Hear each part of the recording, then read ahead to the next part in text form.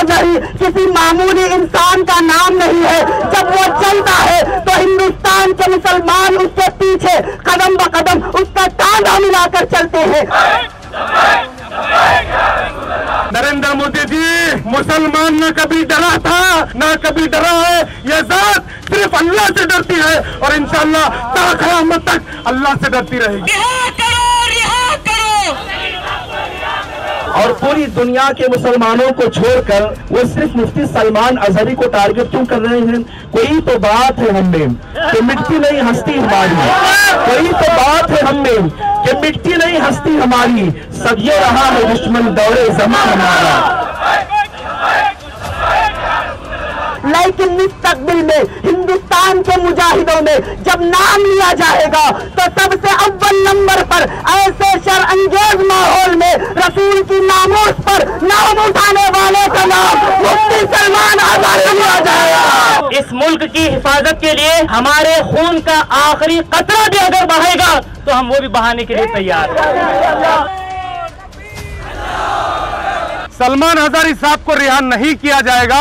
तो पूरा गुलबर्गा शहर को बंद कर कर हम गुलबर्गा शहर में एहतजाज करने की ताकत रखते हैं। This video presented by Al Sharai PU College for Boys and Girls, MSK Mill Road, Al Sharai PU College for Girl at Muslim Chowk, Bijgori, Gulbarga Girls PU College, opposite Makkah Masjid, Basveshwar Colony, Al Sharai BSc Degree College for Girls, Yadula Colony, and Al Sharai Public School powered by LED, Old Jewargi Road. Admission are open contact for details. हम ये उम्मीद रखते हैं कि हमारे इस हिंदुस्तान के इंसाफ के ऊपर हमें पूरा भरोसा है कि वो सलमान अजहरी साहब किबला को पूरी तरीके से इंसाफ फराहम करेगा और वो फराहम करदा इंसाफ को। हम इस दुनिया को बताएँगे कि सलमान अजहरी किसी मामूली इंसान का नाम नहीं है। जब वो चलता है तो हिंदुस्तान के मुसलमान उसके पीछे कदम ब कदम उसका टांगा मिलाकर चलते हैं। अगर ये कह दे कि रसूलुल्लाह का गुस्ताख है तो हम गुस्ताख के आगे भी खड़े रहेंगे और सलमान अजहरी के पीछे भी खड़े रहेंगे। लेकिन ना इस्लाम पर किसी को आज आने देंगे, ना ही हम मुसलमानों पर आज आने देंगे और ना हम उन तमाम लोगों पर आज आने देंगे जो इस हिंदुस्तान में अमन और अमान और सलामती के साथ रहने की उम्मीद रखता है और वो अपने दिल में यह भरोसा करता है कि ये हिंदुस्तान हमारा है और इसे हमें ही आगे बढ़ाना है और इसकी तरक्की के जिम्मेदार हमें होना है। बहुत से मुसन्निफिन, मुफक्किरीन, मुअद्दिबीन, सुफहा उकर, उलमा इकराम, सूफियान इकराम इस मुल्क के नुक्ते उरूज के एजाज का ज़रिया बने हैं। लेकिन मुस्तबिल में, हिंदुस्तान के मुजाहिदों में जब नाम लिया जाएगा तो सबसे अव्वल नंबर पर ऐसे शर अंगेज माहौल में रसूल की नामोश पर नाम उठाने वाले का नाम मुफ्ती सलमान आज़ादी लिया जाएगा। हमने अपनी जबान हाल से, अपनी किरदार से और अपनी कुर्बानियों से पूरी दुनिया को ये पैगाम दिया था कि बातिल से डरने वाले आसमां नहीं है। बातिल से डरने वाले ऐ आसमां नहीं हम। सौ बार कर चुका है तो इम्तिहान हमारा। इस मुल्क की हिफाजत के लिए, इस मुल्क के कानून की हिफाजत के लिए, इस मुल्क के अमन अमन की हिफाजत के लिए हमारे खून का आखिरी कतरा भी अगर बहेगा तो हम वो भी बहाने के लिए तैयार हैं।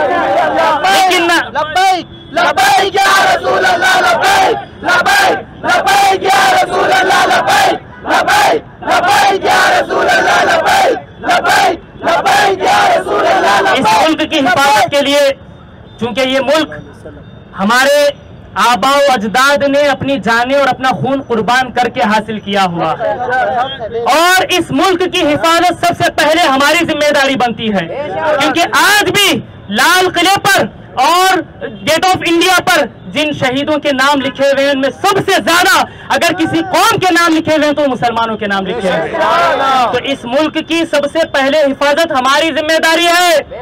हमारा काम है। लिहाजा हम इस मुल्क की भी हिफाजत करेंगे और इस मुल्क में रहने वाले मुसलमानों की, दलितों की और हर कौम की भी हिफाजत करेंगे, इंशाअल्लाह तबारक मौलाना मुफ्ती सलमान अजारी साहब को देने की बुनियाद पर अरेस्ट किया गया है, ऐसा कहना है मीडिया का और बीजेपी के लीडर्स का। हमें ज़्यादा दूर जाने की ज़रूरत नहीं। यही हमारे कर्नाटक के अंदर तमाम बीजेपी के लीडरों की आप स्पीच निकाल कर देखिए, सिवाय हेट के, सिवाय नफरत के, आपको कुछ नहीं मिलेगा। ईश्वरप्पा स्पीच करते हैं, उनके जो रास्ते से गुजरते हैं, वहाँ पे दंगे शुरू हो जाते हैं। मैं इस बात पर रोशनी डालना चाहता हूँ कि हेट स्पीच किसे कहते हैं? जहाँ कहीं भी आप हेट स्पीच देकर निकलते हैं तो वहाँ का माहौल खराब होता है। हेट स्पीच निकाल देना चाहिए। जो भी गलत बोलता है उसे बीजेपी की स्पीच बोलना चाहिए। क्या बात है? सही है। क्योंकि वो लोग मुँह खोलते हैं तो जहर निकालते हैं। सिवाय नफरत के कुछ बात नहीं करते। यूसीसी लाया गया उत्तराखंड में।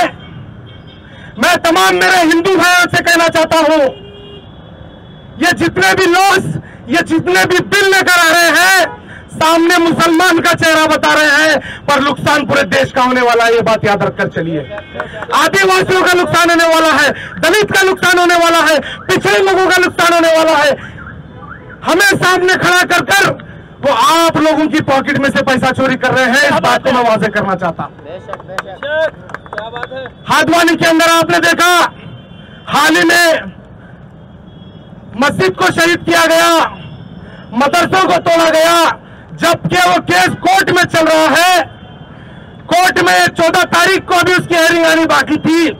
उससे पहले चार पाँच बजे आकर मस्जिदों को और मदरसों को शहीद किया जाता है। ये कॉन्स्टिट्यूशन में राइट देता है कि मैं यहाँ खड़ा हूँ। चार लोग आकर मुझे मारने के लिए आ रहे हैं तो मुझे बचने का राइट कॉन्स्टिट्यूशन देता है जो वहाँ के मुसलमान ने किया। सरेआम, उनके छीरों साथियों में गोली मारी गई। जबकि अगर उन्हें फायरिंग करने का ऑर्डर दिया तो पैर में गोली मार सकते थे। वहाँ पे चार पाँच मुसलमान शहीद हो गए हैं। दो ढाई सौ मुसलमान जख्मी हो गए हैं। पाँच सौ हज़ार लोग बेरोजगार हो गए हैं। इसका जिम्मेदार सिर्फ़ और सिर्फ़ बीजेपी सरकार है, मैं कहना चाहता हूँ दोस्तों। और पूरी दुनिया के मुसलमानों को छोड़कर हमारी हुकूमत में जो शरपसंद जो अनासिर है, वो सिर्फ़ मुफ्ती सलमान अजहरी को टारगेट क्यों कर रहे हैं? कोई तो बात है हम में कि मिटती नहीं हस्ती हमारी। कोई तो बात है हम में कि मिटती नहीं हस्ती हमारी। सदियों रहा है दुश्मन, दौरे जमा हमारा। सदियों रहा है दुश्मन, दौरे जमा जमा हमारा। बिरादरान मिलत इस्लामिया, हम वो कौम नहीं है जो अपने प्रोटेस्ट को, अपने मुतालबे को, अपने एहतजाज को वायलेंट करे या किसी हमारे मुल्क की किसी प्रॉपर्टी को नुकसान पहुँचाए। बल्कि हम वो लोग हैं हमारी ईद भी अमन अमान से होती है और हमारी खुशी भी अमन अमान से होती है हमारा गम भी अमन अमान से होता है। हम खुशी भी मनाते हैं तो अल्लाह का सजदा करते हैं और हम भी मनाते हैं तो अल्लाह की बारगाह में सब्र का सब्र का तराना गुनगुनाते हैं। तो हम जिस जमहूरियत को बचाने के लिए जिस कॉन्स्टिट्यूशन को बचाने के लिए गुलबर्गा की आवाम गुलबर्गा के नौजवान जिस जोश और जज्बे से निकले हैं मैं इनके जज्बे को सलाम करता हूँ।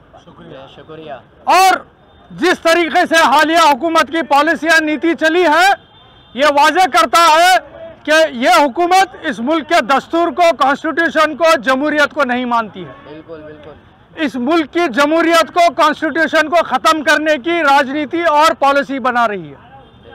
ये सबको पता है कि जब हमारा कॉन्स्टिट्यूशन अपनाया जा रहा था, जब तिरंगा झंडा अपनाया जा रहा था तो वो कौन से संगठन है जिन्होंने तिरंगे की मुखालिफत की, जिन्होंने वो कॉन्स्टिट्यूशन की मुखालिफत की? आज हम ढंके की चोट से कहते हैं, जो आज अपने आप को राष्ट्रवाद का नारा देते हैं, जो आज अपने आप को देशभक्त का नारा देते हैं, ये सारे फर्जी राष्ट्रवाद और फर्जी देशभक्त हैं। इनके ताल्लुक से सरदार वल्लभ भाई पटेल ने कहा था ये वही संगठन है जो हिंदुत्ववादी राजनीति कर कर इस मुल्क के लिए खतरा बनेंगे। और आज हम देख रहे हैं कि जिस तरीके से फिरका परस्त सियासत करके समाज में दुश्मनी फैलाने का काम कर रहे हैं, आज ये इनकी राजनीति आज हमारे मुल्क के लिए खतरा बनी हुई है। इस मुल्क को तरक्की पसंद मुल्क बनाने के लिए हमको इस मुल्क का आइन बचाना ज़रूरी है। इस मुल्क की जमहूरियत बचाना ज़रूरी है। इसके लिए मैं गुलबर्गा की आवाम का फिर से शुक्रिया अदा करता हूँ, जिन्होंने safe democracy safe constitution safe nation नारे के तहत आज एक बड़ा सा जुलूस निकाला। हमारे ओलमा और मुफ्तियान इकराम को जो निशाना बनाया जा रहा है, खसूस की, खसूसियत के साथ मुफ्ती सलमान असरी साहब किबला को जो गैर कानूनी तौर पे अरेस्ट किया गया है, इसी तरह से मौलाना कमर गनी उस्मानी साहब को जो गैर कानूनी तरीके से अरेस्ट किया गया है, उसके ख़िलाफ़ हम आवाज़ बुलंद करने के लिए जमा हुए हैं और मुफ्ती सलमान अजहरी साहब किबला के साथ हम इन अल्फाज में इजहार, एकजहती करते हैं कि ख़तरों से निडर हो के हरीफों से लड़ा तो। खतरों से निडर हो के हरीफों से लड़ा तो नामू से नबी के लिए बर वक्त उठा तो।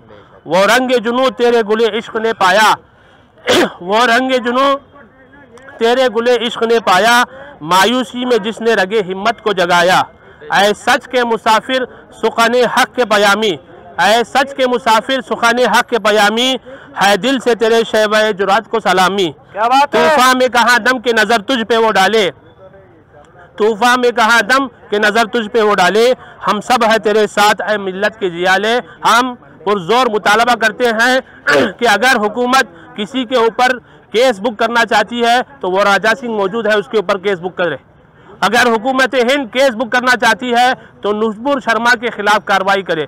इसी तरह से अगर हुकूमत किसी के खिलाफ कार्रवाई करना चाहती है तो आरएसएस के गुंडे हैं, बीजेपी के गुंडे लीडर हैं, उनके खिलाफ जो है कार्रवाई करे और हमारे को बाइज्जत बरी करे और रिहा करे। यही हमारी मांग है। असल वरहमल हम इस मौके से इस मुश्किल घड़ी में हुजूर सलमान रजा अजहरी साहब की के साथ इजहार एकजहती करते हैं और अपने इस जज्बात को इन अल्फाज में बयां करते हैं कि न सर झुका के जिए न मुँह छुपा के जिए। न सर झुका के जिए न मुँह छुपा के जिए सितमगर की नज़रों से नज़रें मिला के जिए। हम अगर दो दिन कम जिए तो इसमें हैरत किया। हम उनके साथ थे जो क्षमा जला के जिए और तूने पूछी है इमामत की हकीकत मुझसे हक तुझे मेरी तरह साहिब असरार करे। है वो ही तेरे जमाने का इमाम बरहक तो तुझे हाजिर मौजूद से बेजार करे और मौत के आईने में दिखा के रुखे दोस्त ज़िंदगी तेरे लिए और भी दुशवार करे। दे के एहसास जिया तेरा लहू गरमा दे। फक्र की शान चढ़ा के तुझे तलवार करे। और फितना मिलत बैजा है इमामत उसकी जो मुसलमान को सलाती का परिस्तार करे। This video presented by Al Sharai PU College for Boys and Girls, MSK Mill Road, Al Sharai PU College for Girl at Muslim Chowk, Mijgori, Gulbarga Girls PU College, opposite Makkah Masjid, Basveshwar Colony, Al Sharai BSc Degree College for Girls, Yadula Colony, and Al Sharai Public School powered by LED, Old Jewargi Road. Admission are open contact for details.